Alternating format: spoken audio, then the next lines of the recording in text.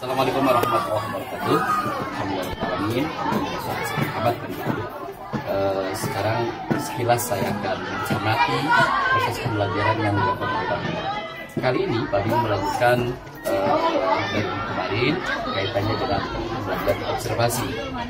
Dari RPP yang kami baca ini lanjutannya uh, di mana dari RPP pertama terus diberikan kesempatan untuk melihat uh, tayangan di YouTube atau di internet. Kemudian diberikan kesempatan untuk mencermatinya dan untuk mendeskripsikannya.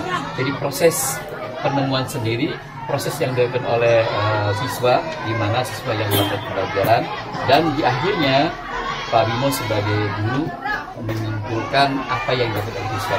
Jadi sekali lagi proses belajarnya terpusat pada siswa. Dan yang kedua, siswa yang menyimpulkan dari apa yang dia amati, bukan guru yang menyebutkan.